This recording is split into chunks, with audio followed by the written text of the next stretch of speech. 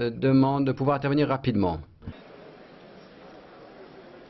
Au nom de mes quatre collègues, je voulais remercier chaleureusement tous les membres du Parlement qui ont permis euh, l'adoption de cette initiative.